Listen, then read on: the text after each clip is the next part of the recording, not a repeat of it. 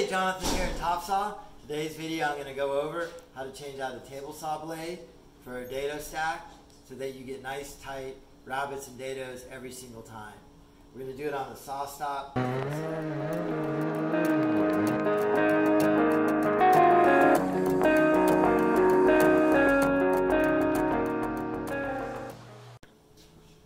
Okay, I'm changing out the table blade saw um, for a dado stack. And it's not too complicated, but you do have to run some test pieces. Before my hands ever go near any cutter, I need to lock it out in two places. I turn it off on the machine, and then the breaker's over here, and I lock it out over there. On this SawStop, there's a, a hex key bolt to hold the faceplate in. On that, on the other SawStop, it's a pull lever.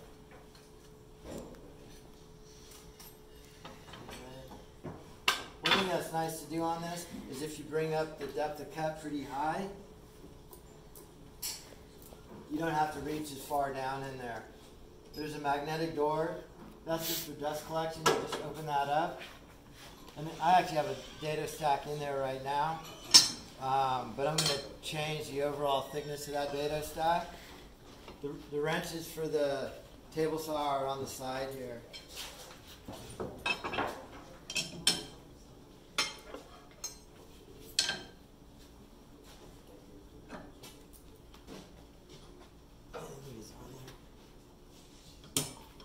It doesn't actually have to be that tight on there.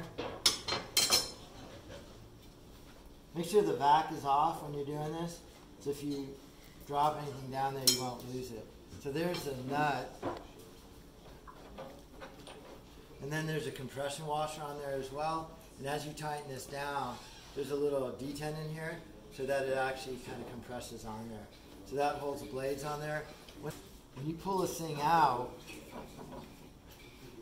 you cannot drop these blades and you really can't stack them. If you drop them, you break these teeth off and then I gotta get rid of the whole blade set. You can't really put these teeth back on. So even when you stack them, you don't stack them on top of each other. These are chippers right here. And then these are your two blades. There's, there's an A and a B. Okay. So um, here's the chart right here. I think we're going to 13 sixteenths. So I look on my chart here. Here's 13 sixteenths right here. And then I need A, C, four E's and a B. So I'm going to take my A, my first chipper here. Those teeth have to come towards me, so the cutter's coming towards me. You also kind of want to inspect them make sure there are no cracks in them. So I go A, and then in the box here, if you can't, it's kind of written on here. I wrote on a Sharpie there, so I wrote a C on there. But if you can't read it, you could also use a caliper to check the width of the teeth. And then there's a C. Again, that cutter's coming towards me. And when I stack them on here, I make sure the teeth are not stacked on top of each other. Otherwise, they'll kind of wobble around. So that's A, C, and then I think it was four E's. This is an E here. Keep it a little bit dirty. Again, I'm being really careful not to drop them because I really don't want to break those teeth off. There's a C, an E, a second E.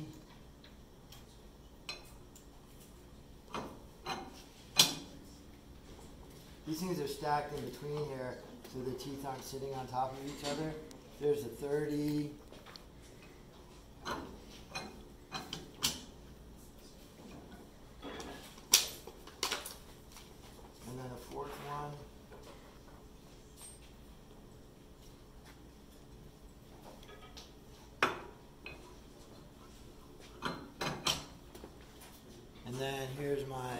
B blade on the outside, this side out, and it's also my teeth are coming towards me.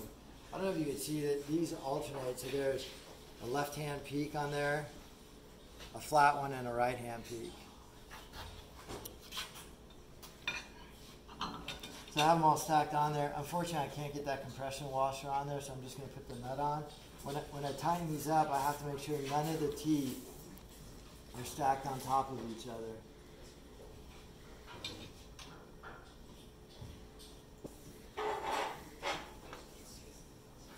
So I got it pretty tight with my fingers. And I'm just double checking that none of my teeth are stacked. You gotta tighten this up pretty good.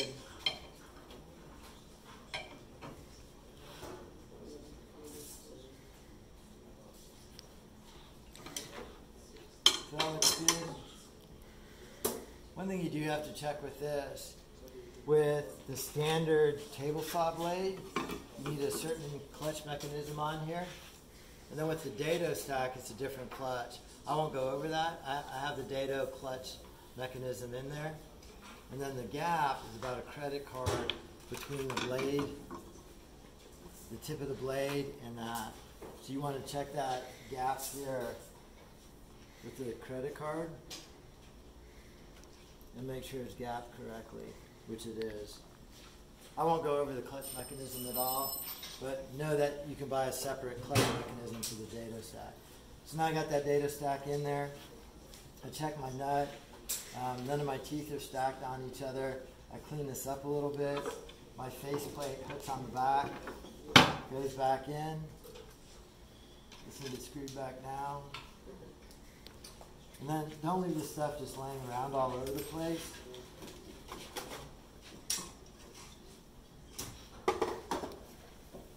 And again, let me just double check that. Here's 13 16ths. I have an A, a C, one, two, three, four E's, and then my outside plate. So that's it there.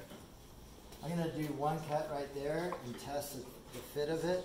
And if it's a little too tight, I could put in one of these shims in between the blades and they're not going to have teeth. I mean, they're you got to check them with a caliper. Um, but some of them are like 10 thou, 5 thou, and I think a 20 thou shim. So if it's too, too tight of a fit, you just take it back apart and put a shim in there. It is kind of a little complicated.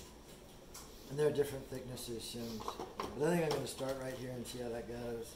You got to be really careful because there's no kicker splitter on there. So I got to be really conscientious of both kickbacks um, and cutting myself. Let me bring it down. I don't really want to take off too much with it at any one time. So I can regulate that by dropping that down and doing multiple passes. So, so the way I do this is I'm going to bury the blade. That's why I don't have a splitter on there. So I got to be really conscientious turning on the breaker, turning on the saw. Safety has to be number one. I really need to think about what I'm going to do before I do it. The, the blade's pretty low, so um, I'm not taking that much wood out. I always use a push stick no matter what because the blade is going to be hidden under there. So the last thing you want to do is run your hand like this. You can't see the blade run it into your thumb. Okay. I'm really flush up against the fence and I'm holding it down hard.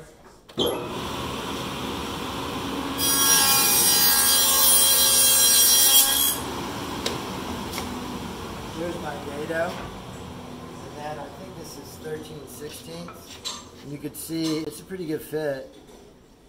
Yeah, it's a pretty good fit. That's about what you want. It'd be just like a hair tighter. So that right there is a dado. If I want to cut a rabbet, I do not bring the fence up to that blade and scar up my fence. Either I put a sacrificial fence in here or I do it on the outside. So I could cut a rabbet like this or I could clamp a sacrificial board on here which is just as good.